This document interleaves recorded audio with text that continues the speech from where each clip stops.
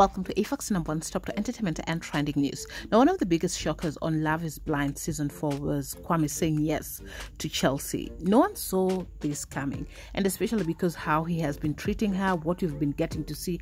Heck, I also spoke about it. I felt there was no connection, she deserved better.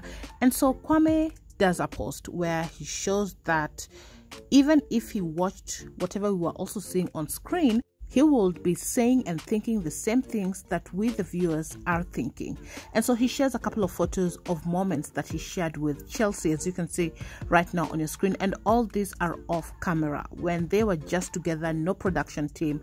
And we get to see a different light when it comes to Kwame. Like, these are two different people. He even shares a video of them coupling together. Like, literally, the connection is there. And it leaves fans questioning why we played by Netflix. Are Netflix the real villains?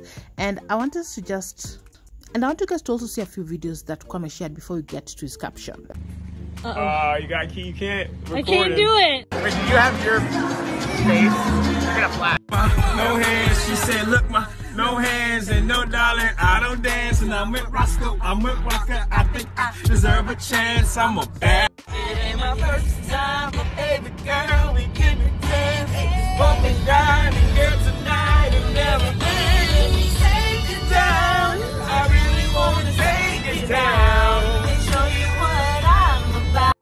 I know what you're about to say. Is that Kwame really having fun with Chelsea, genuine fun?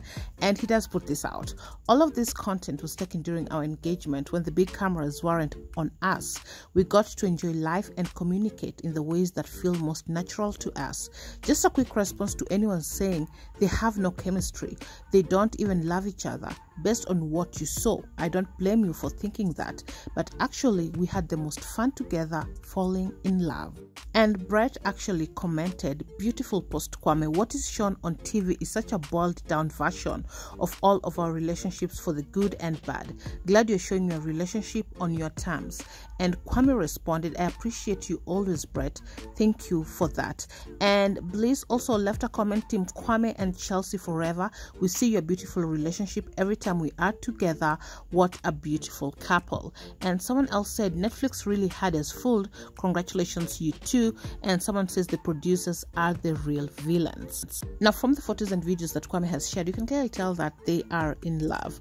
I honestly judge them as well because what we got to see did not show anything to do with love. And also, one thing that especially black people have spoken about is that Kwame self hates the fact that he does not say Kwame but Kwame, um, the fact that he wanted to go by the name Alex. Something else that people have said is that he does not like black women. Well, he responded to that putting out that the last relationship that he was in was with a Jamaican woman. And this is what he said about it. This is actually really false. Prior to the show, I dated a Jamaican for some time. As a black man, the words I don't date black women would piss me off to hear. That's disrespect towards my own mother and sister. This is such a wrong narrative. I'd love it if people will stop perpetuating that.